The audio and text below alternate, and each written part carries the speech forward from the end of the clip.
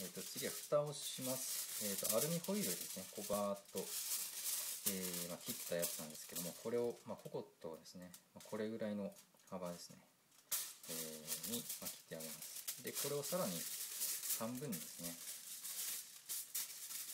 切ってあげて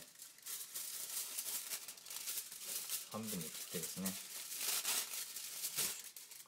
でまあこれで蓋をするというふうにします。で、まあ、これを今。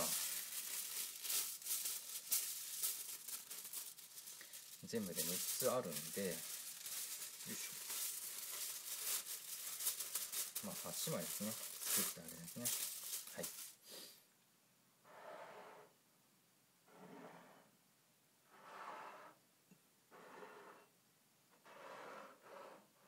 はい、じゃあ蓋をしてあげます。でこの蓋なんですけれども、えー加熱の段階で土鍋の中がですね、まあ蒸気で満タンになります。そうすると圧力の関係か何なのか蒸気が中に入ったりとかするんで、えーきっちりですねきっちり蓋をしてあげてください。これやらないとえこの中にですね蒸気が入ってちょっと上っ面が水っぽくなっちゃうんですね、はい、というわけでよっほっはっ。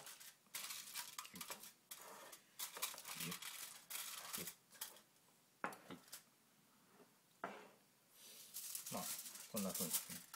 どんどんどんどん蓋をしてあげます。ちょっとホイールの幅が切った幅が狭くてあんまりちり蓋できてない感じもしますけど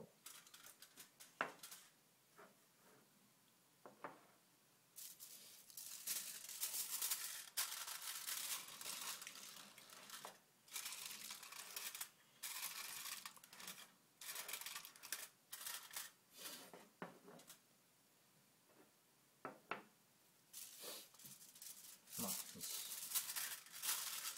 なるだけきっちり蓋をですねしてあげるよとはいはい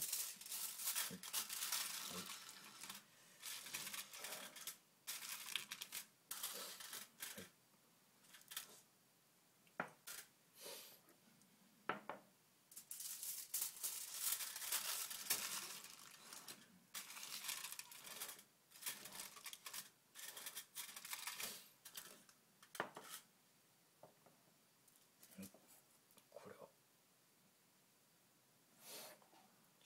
ちょっとカラメルがくっついてました。カラメルがくっついてたんで拭きましたと。